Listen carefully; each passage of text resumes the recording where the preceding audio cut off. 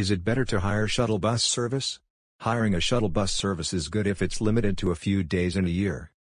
However, if the frequency increases to once every week then purchasing outright will be a better option.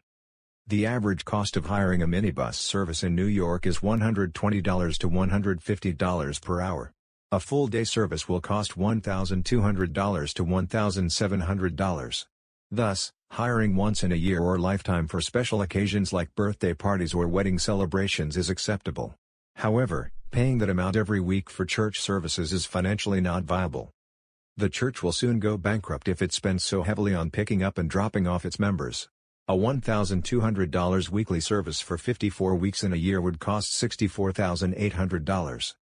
Compare that to purchasing a fully reconditioned used shuttle bus for a mere $25,000 and using it every week for 5 years.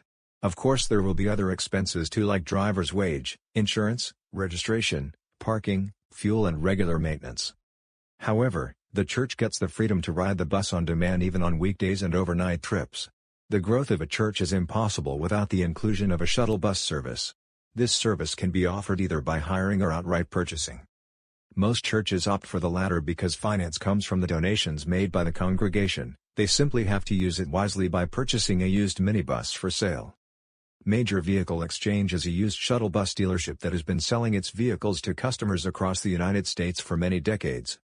For more details visit our website at www.getanybus.com and contact the CEO Charles Kaufman at 516-333-7483 today.